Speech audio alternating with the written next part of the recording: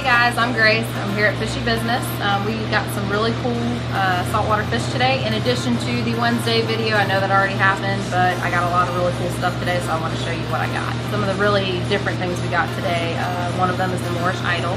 I also got a uh, black and yellow butterfly fish. I got a Cortez Angel.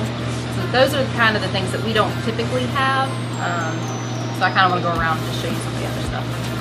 So the Cortez Angel, the one that we have right now, is a juvenile. Eventually, when it gets larger, it will change color, get a little bit darker. It's to lose those stripes, and it will eat coral, so don't put it in your reef tank. Over here we have also, we have a gray angel. The little guy right now, he's also a juvenile. He will eventually get bigger and gray. Um, another one to not put in your reef tank. You've got a fish only, larger angels are great. So then we also have the dwarf lionfish. He's very tiny. He's probably the size of a ping pong ball right now. Max size would be about seven inches. Will eat anything that is that can fit in his mouth, basically. So here we have a long-nosed butterfly. That's the one that I call the black and the black and yellow. Never actually had one in the store before, so this will this will be different. Over here we have a clown tang. Clown tangs you can put in reef tanks. Again, not the easiest fish. I think you need to be a little more experienced to, to do that guy, but you know, it's, it's up to you. So over here we have a panther grouper. Those get, I want to say close to about two feet long. Will again eat anything that fits in his mouth. But other than that, a really cool fish. And down here we've got a black Volitan lion. Um, same thing, anything that'll fit in his mouth he's kind of going to go for. I would say reef safe around uh, corals as long as he's not constantly perching on them, um, but he will eat any type of invert. A fox face, those are good grazers for reef tanks, any type of hair algae you have growing on your rocks will kind of take care of that. The fox face is poisonous, so don't let that dorsal fin get you.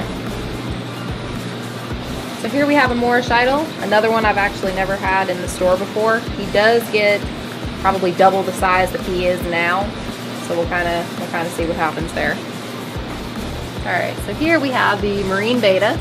It would be reef safe without inverts or, you know, any, anything small that you could put in there. Really, really beautiful fish. He's got a lot of spots on him.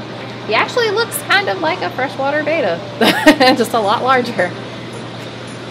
We have the ornate wrasse. You can actually house them with other members of leopard wrasses. That's, that's what he is, the family he's a part of.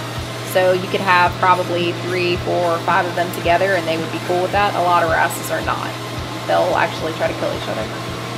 So over here we have fire shrimp. They're good scavengers in the tank. They kind of pick up any leftover food or waste up in the sand or on the rocks, pretty much. Other than that, they are really, really beautiful. They're bright, bright red. Black tip starfish, reef safe starfish, not going to eat any of your corals. Another good one to have in a reef. There are some that do eat corals, like the chocolate chip or the crimson knobby. Those guys tend to eat any type of sponge or anything like that, really. Here we have a red knobby starfish. They actually eat corals, so one, do not put that in your reef tank. Other than that, he will kind of eat stuff off the bottom, any leftover food or anything like that. He'll pretty much pick it up. Really pretty. He's really bright red too, just like the fire shrimp. That's all the saltwater fish that we got in this week. Um, so until then, you'll probably see Chuck next video. But remember, I'm Gracie. Please subscribe to our YouTube channel. You can also follow us on Facebook and kind of keep up updates of everything that's going on. If we post any tag specials or fish specials, anything like that. Um, but yeah, thanks for watching.